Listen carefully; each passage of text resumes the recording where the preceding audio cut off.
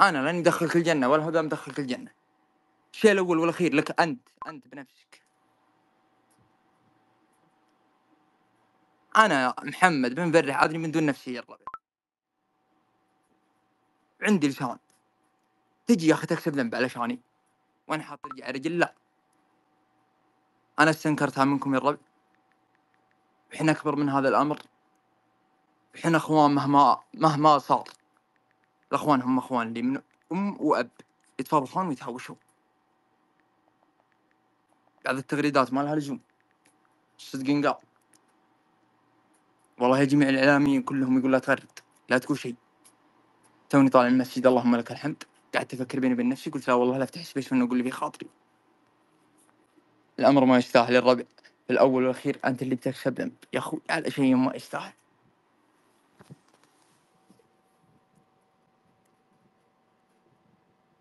وما أدري أنا صدق.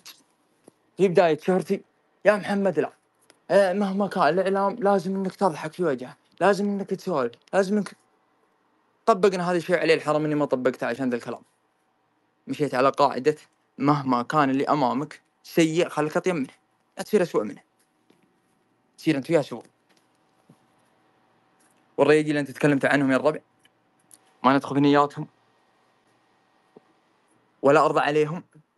الصدق ينقال أنا مرضى عليهم يا الربع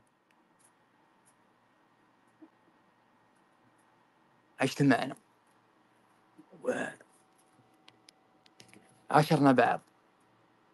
من يرضى على أخوياه ما في خير. مهما كان اللي بينه وبين خويه والله ما فتحت space إلا عشان أقول ذا الكلام. يشهد الله أنه من قلب أنا كأني في دوامة لي كم من يوم الربع والله أنا كأني في دوامة. وماني مرتاح ما أدري ليه في شيء ما مريح.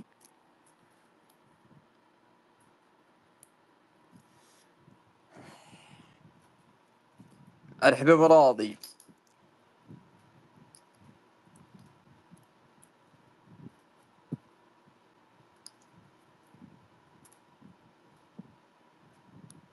عادي ها ابو راضي طلع اخلق له 99 ألف عذر. ممكن جواله طفى. ممكن يعلق جواله. دعوة بسيطة جاني مبسيكم. وكاد يلا حيهم هذا شيء راجع ولكن طيبتك بتأذيك ومو كل الناس مثل اللي في بالي. تأذيني. تعذبني وتغربني. ما في خلاف لكن عند الله سبحانه وتعالى بلقاها. وأنا أخوش.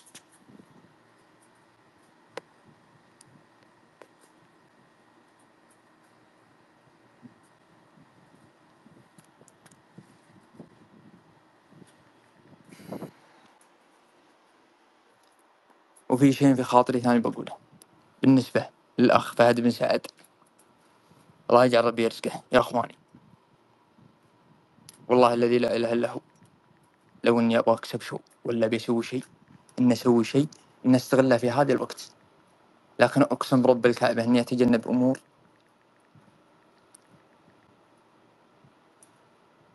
أولها أمس البث. والله العظيم كم من قست من أخوياي يطلبني إني ما دخلت معهم. إني أتجنب كلمة بيض الله وجهك جمل الله حالك. الفضل لله سبحانه وتعالى. وأنا تعبت وأنا أعيد سالفة الرجال. الصدق. الفضل لله سبحانه وتعالى. ولا سوينا إلا الواجب. ولو إني تعديته ما فيني خير.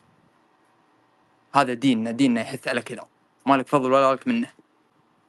رزق ساقه الله صو- صوبه سبحانه وتعالى.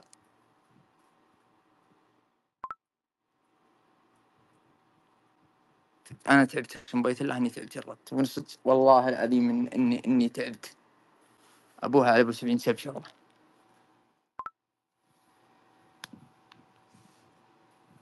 قابل أشخاص. ها جاتك فلوس جاتك. اليوم في احد الأشخاص من غير ذكر اسمه.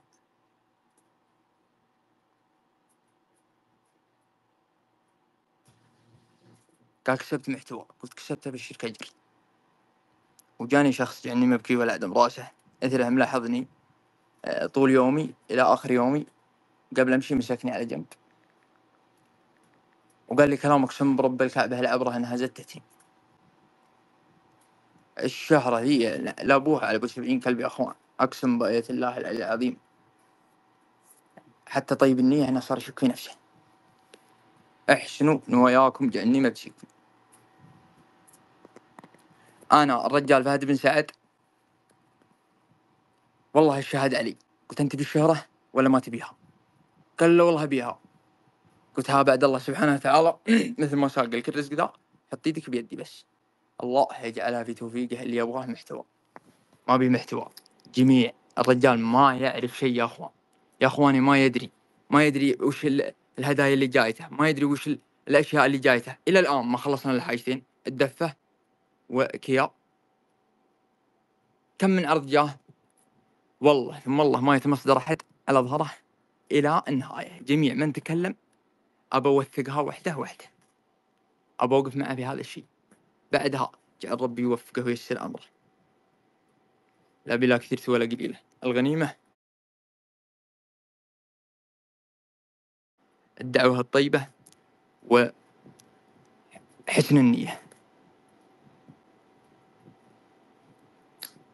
أنا أقسم بالله الربع إني أتكلم آه، و- وأنا على قصايص الربع فكروا. يا إخواني فكروا في أنفسكم تكفوا. اتركوني ما عليكم مني. لو يحاربني الشعب كله اتركوني. لا تكسبون درب. أنتم ما تدرون وش اللي تحت الكاميرا يا أخواني. والله ما تدرون. لا أبو الإعلام على أبو سبعين سنة.